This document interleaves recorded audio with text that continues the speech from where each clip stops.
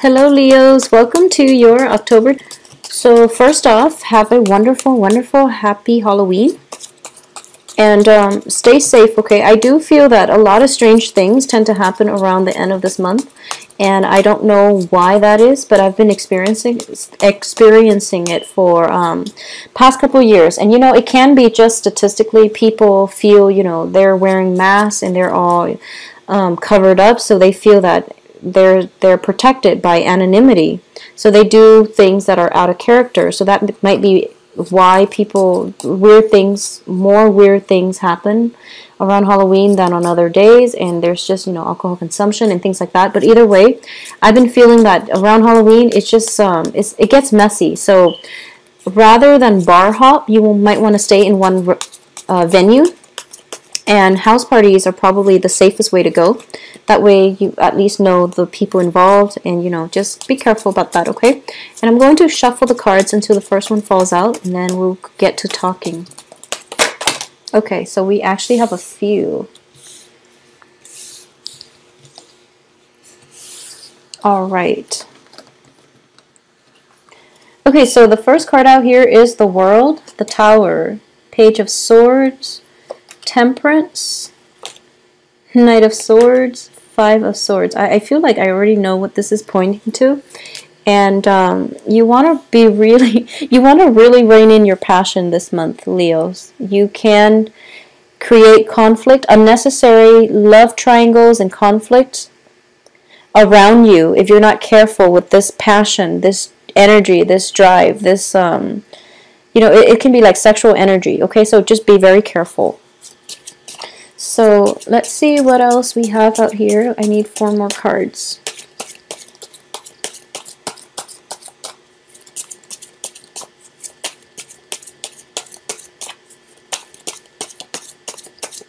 Um, I feel like I think four, five signs, four signs have already gotten the tower. Okay, wow. So two of cups and the devil. All right, so let's go through the energy, overall energy for the month. So when I do the overall energy, I'm going to read all the cards as you and the energy that the universe brings in for you. So I've been trying to, this new thing where I read the energies first and then I break it down into individuals that are prominent in your life, okay? So for example, this can be a page of swords, but as for you, it's going to be read as you exhibiting the energy of an air sign. So um, let's just go through it. So the first thing is that we have the world, and the world is definitely a period where you see a lot of expansion, okay? And this, the card surrounding the world indicates to me definitely changes that have been, that needed to happen in your life, and for some reason were never gotten off the ground. They're definitely coming in, and there's no way you can stop it. So these are changes that you know would be good for you, but you know, change is hard. So usually we try to delay it, and I do feel it's going to happen this month, unfortunately. Um, what's really helping you is that it's in the reverse position. So you've known for quite some time this is something that needs to end so that new things can come on the heels of it. And there's definitely a new person coming on the heels of that, okay? um, what's going to happen here is that there's definitely something from your past that you're still yearning for with the world. It can be work, relationships, partner, and things like that. There's definitely something that you're you're someone that you're very physically attracted to. There's definitely a lot of attraction here with the world, the tower. The tower next to the world indicates to me it's um it's a situation where sudden attraction, like sudden physical attraction, because the world, she's naked. And there's definitely, you know, she's trying to bring things into her life. And she's doing it in a way where it's very innocent, where it's very open hearted, open minded, okay? So this is a card of expansion and when it's next to the tower like this, I do feel that there is definitely somebody that you really want, and you want them on a very primal level with the devil here. So it's definitely somebody that you're interested in. The feeling is mutual, just to keep that in mind. The feeling is definitely mutual. However, the attraction is a little bit disruptive. we have the Tower with the Five of Wands, which indicates conflict, not seeing eye to eye with another person. And we also have Two of Cups, which is somebody might be emotionally blocked. It might be the other person, not you, because I do feel that, you know, Leos, you are very, very generous and open hearted with your feelings. I feel like out of all the zodiac signs, um, it's like Leos are the ones that are least guarded. So I do feel that in this situation, you're in the upright position. So you're putting it out there on the line. You're you're putting your you're wearing your heart on your sleeves, and you're just like you know this is what I want. I'm going after the person that I want, and um, for some reason, you and that person you don't see eye to eye on a lot of things on an emotional level. They might be a little bit blocked they might be blocked. There is also an element of risk associated with this union. I'm sensing there's a, an element of risk. So it could be they're in a relationship and you know you don't want their spouse finding out or it could be you're dating multiple people and you don't want your spouse, your significant other, finding out about this relationship. But either way, I do feel that it is very, very unstable. And there's an element of risk about it. There's definitely physical attraction, but there's, you know, is it enough to counter the risk? Is the physical attraction so great that you have to have the other person despite the other people who might be involved, whom you might hurt? So you want to really think this through, okay? There's definitely unbridled passion being unleashed in this spread, and you really want to, to direct the flow of the energy. You're in the upright position. So I do feel you have you have total control as to how you want to steer this. So make the right choices and do the right thing, okay? I also feel here, this is, you know, our um, our I guess um, our higher self speaking to our lower self. And it's sort of like, you should do this, but you know, but I want to do this, even though it's not grounded in reality. So this is a very important month for you to really decide, take the high road, okay? Take the high road and try to do the right thing. And I feel that you are going to do the right thing. But I just want you to know that, you know, like, um, I feel that a lot of fire signs in general has a very strong moral compass and a, a, a very deep rooted sense of like personal integrity. For you, it's like black or white there's very little gray area. Air signs, they can rationalize and they can make a gray area turn black or white based on their ability to reason, on their ability to argue, on their ability to rationalize, to make sense of what they're doing or to justify what they're doing. With fire signs, it's pretty much, you know, black or white. But in this situation, what I mean is, it's sort of like, and this is not going to apply for all, but this is just an example um, for example, you are involved with somebody who's married, and you're just like, you know, it's um, it's a good relationship as long as the person you're involved with, their spouse, doesn't find out. If he or she doesn't find out, then I'm not hurting anybody. That's rationalizing, and I do feel that's what you're in danger of doing this month. So be very careful. Just because it doesn't hurt anybody. Just because everyone can keep their mouth shut and you know no secret leaks out. On an energetic level we are sending out vibrations every minute of the day. So if we do things that we know is is wrong despite no one getting hurt despite people not finding out you can send out the wrong vibration and it can get you stuck in unhealthy situations, okay? So that's just something I want you to be careful about. Like I said, I'm reading the cards as your energies first. So this is like using the ability for rational thinking in a potentially harmful way. So you want to be careful about the energies you're projecting and aim to always, always, always do the right thing despite whoever, you know, is watching. Okay, so just aim to do the right thing. Um, I do feel that you are going to do the right thing, but the temptation for this month is just so great. Make sure you look at the bigger picture. I do feel a lot of temptations coming through. So you can take a retreat if you feel like you're about to succumb to temptation. And, you know, I, I don't feel anything catastrophic coming from this. But um, if you're involved with another person and you knowingly, like, you know that they're, um, they're with a, another person, just just don't do it. it. It's bad karma, okay? It's just bad karma. It's bad vibrational energy and that you're sending out. And the other person, they don't really deserve the time of day anyway. So just don't do that. Okay, so that's just to protect yourself from getting hurt.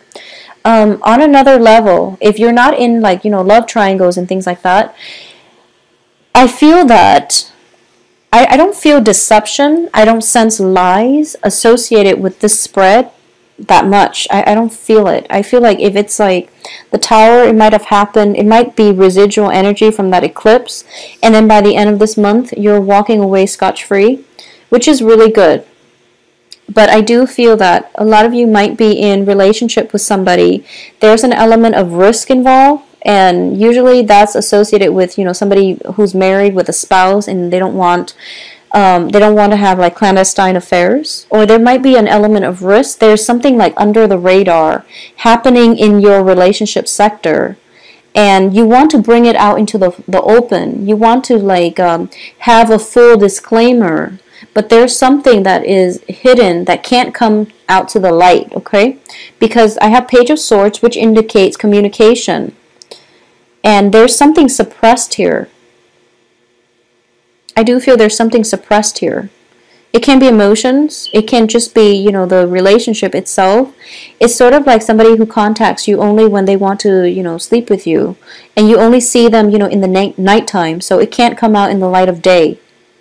So know your own self worth and know what you're willing to settle for. Despite the physical attraction you might feel towards that person, if they can't give you the time of day, if they can't give you the devotion, if they can't even match what you're giving them, which is, you know, your your heart on your sleeves, your time, your devotion, the excitement and the energy that you bring and the commitment that you bring to the relationship, then it's not worth it. So you want to find something a little bit more stable for yourself.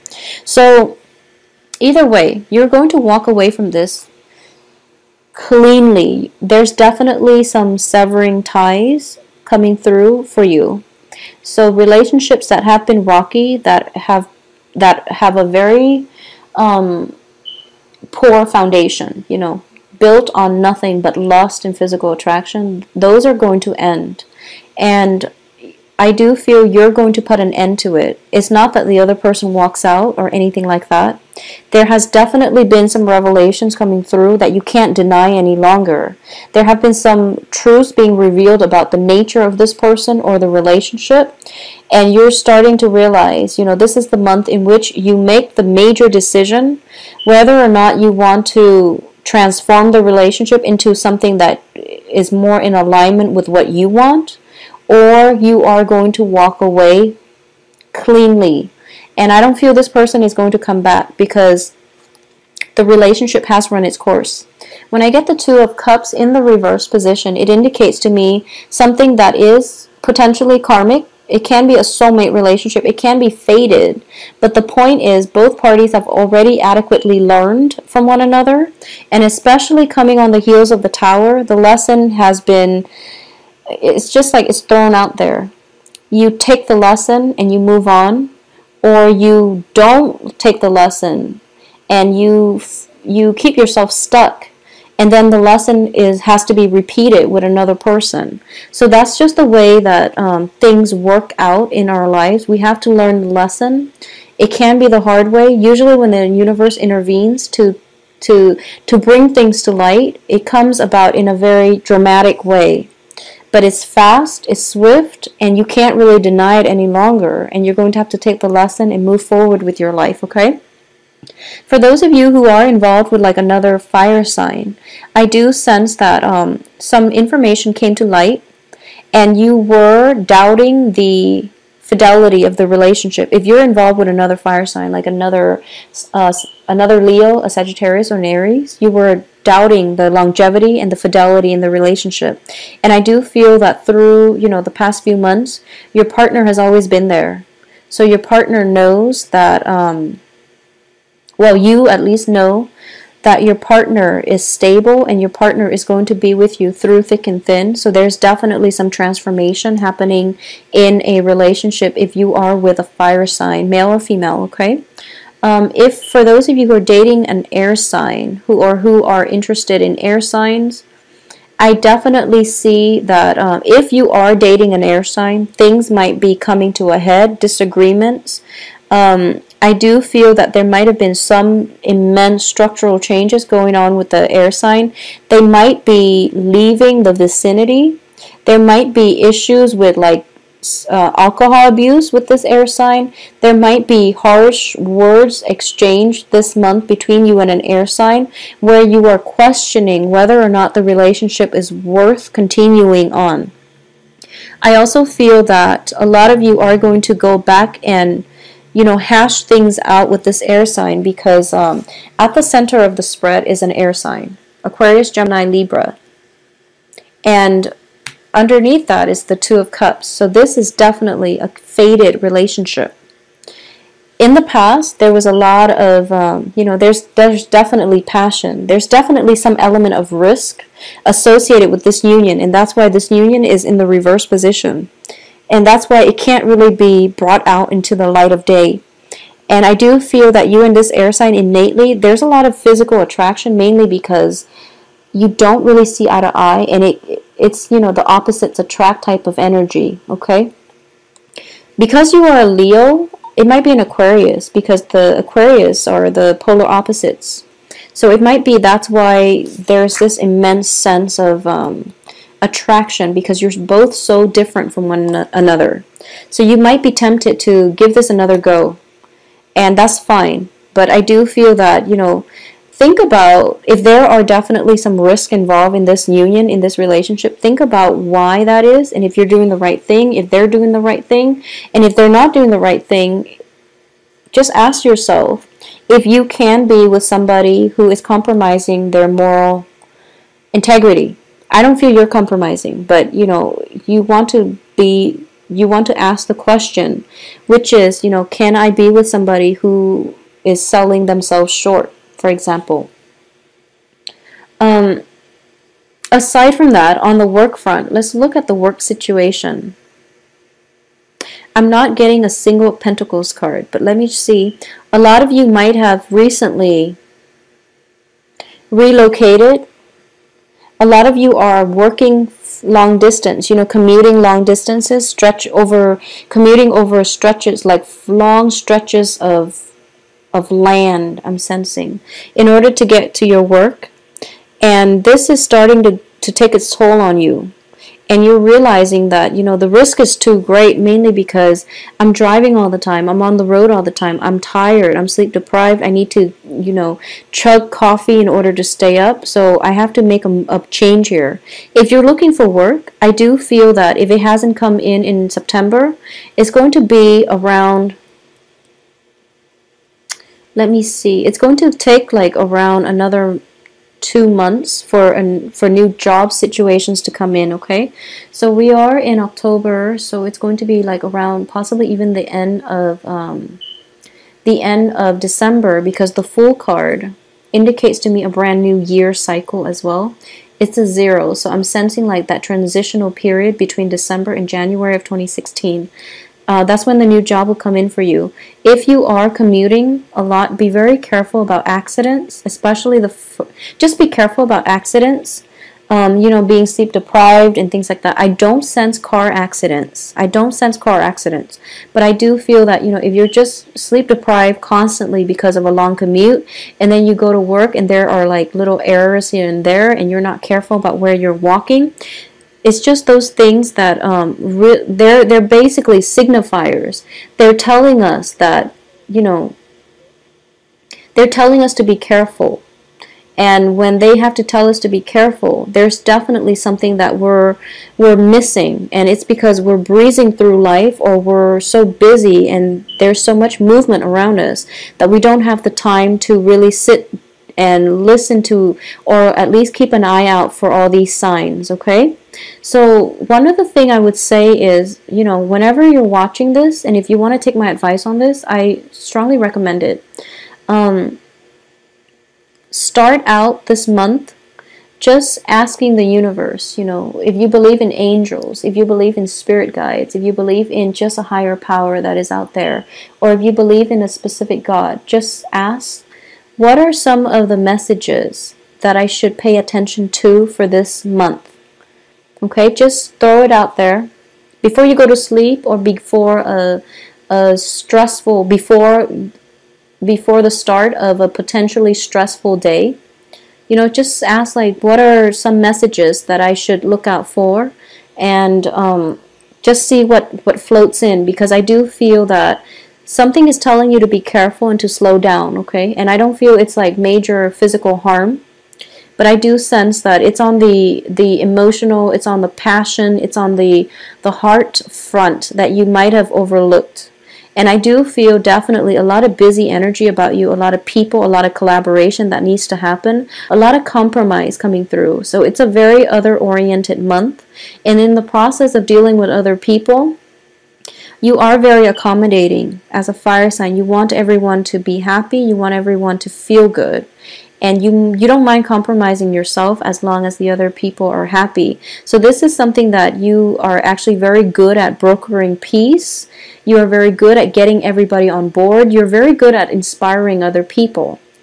Just make sure it's for the right reasons and also just make sure that you know, always always always aim for the right thing even if no one's looking. Okay? Because I do feel once again temptations, temptations it's sort of like um, for some reason for October there is um, the devil has been shown up across the board and also the lovers card which indicates choices and temptations so I'm sensing maybe it's the transition between the season where the weather gets a little bit colder people are you know coupling up I, I don't know maybe it's like a biological need for us to couple up in order to survive the harsh winter, but either way, there's definitely some temptation in the works for you. Um, I do feel that a lot of you this month, you're just trying to find love and you're trying to find the right one. And you're tired of things not working out. You're tired of investing your time and dealing with jealousies, dealing with people that they say one thing, they mean another, insincere people or dealing with people who are like overly jealous or they're they're immature and they they they they um they might try to manipulate you emotionally by provoking you to jealousy. So you're tired of it. You can see through it. You don't call them out on it because you care about them and you don't want to embarrass them. But they just I feel like they, they take advantage of it. So moving forward, you just want somebody that will treasure you and you want, you know, a, a committed relationship, I feel, for a lot of you. And you do want an equal footing in a partnership. You want someone who will meet you halfway, and you're tired of having to do all the work. You're tired of having to drive, you know, that 40 kilometers in order to meet your lover, and they never ever take the time to travel to see you. They always talk about it. They never follow through. And you're tired of the you know, the inequality in the relationship. So this is definitely the month for you to reassess what it is that you're still getting out of this relationship and to see if it's balanced and equal and to see if it's worth it. And if it's not, sever ties, cut your losses and move on because there is definitely other people that will be more than willing to date you, that will be more willing to compromise with you as long as you're able to do that, I do feel, you know, there is going to be new love. So keep yourself open. There are at least three court cards. So at least we know there are other people in your periphery. And you're a fire sign, so I don't feel that you're going to be lacking in candidates to date, okay? So cut your losses with somebody. If you have been constantly driving to come see them and they keep telling you, oh, one day, one day, one day I'll come see you, and they never follow through, whoever it is, just let it go. Just let it go. It's not worth it. Life is too short, okay? So, Leos, I do hope you have a wonderful uh, Halloween. Once again, stay safe. Um, if you do end relationships with somebody, do it cordially and just, you know, tell them, we let's be friends and mean it. And I do feel that it's going to allow you an opportunity to heal because you're going to realize that in the future, um,